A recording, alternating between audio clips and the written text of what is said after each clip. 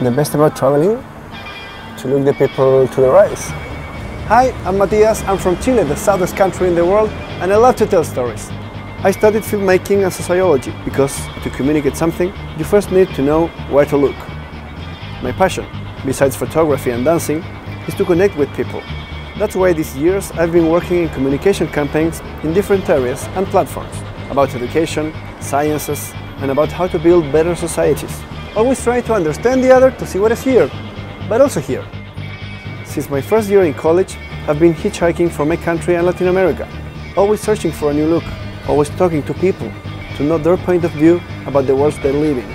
I want to apply for Yuujou because I want to continue being a bridge between people, to know their looks, tell their stories, and make others feel them as they were their own.